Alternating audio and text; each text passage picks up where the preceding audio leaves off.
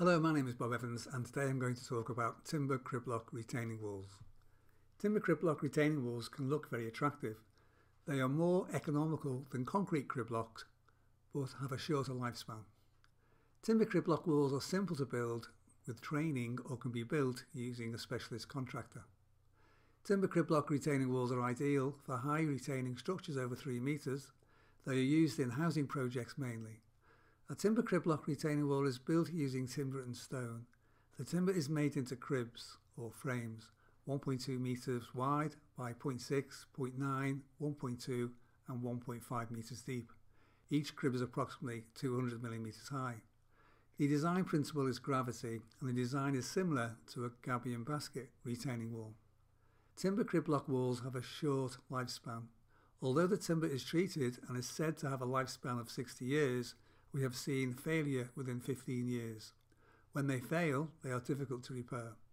Timber criblock is far more economical than concrete criblock, but comes with a risk. The timber units to make the cribs are called stretchers and headers. Stretchers run from the length of the wall, headers run from the front to the back of the wall. The stretchers and headers lock into each other using notches built into the headers. Stretchers are 2.4 metres long whereas headers are 0.6, 0.9 and 1.2 metres long. The width of the header depends on the design of the retaining wall. Free draining fill is required to backfill behind the criblock structure with a land drain at the bottom to reduce any risk from hydrostatic pressure. The higher the wall, the wider the frames need to be at the bottom of the wall. Criblock walls are typically inclined to allow gravity to reduce the wall's mass and keep the design economical. The design table was developed to allow us to price up budgets. You can see how the wall changes with different heights. Please only use the guide for reference. Every retaining wall is built in different soil types and must be designed by a structural engineer. We can do this work for you on request. Okay. End. Pain in the arse, that one. The question everybody wants to know is how much does a retaining wall cost? To answer this question, we have created a retaining wall design and price guide. The guide details all the retaining walls on the website, provides a design guide to allow you to cost out the wall yourself, or you can use our cost table that we have developed.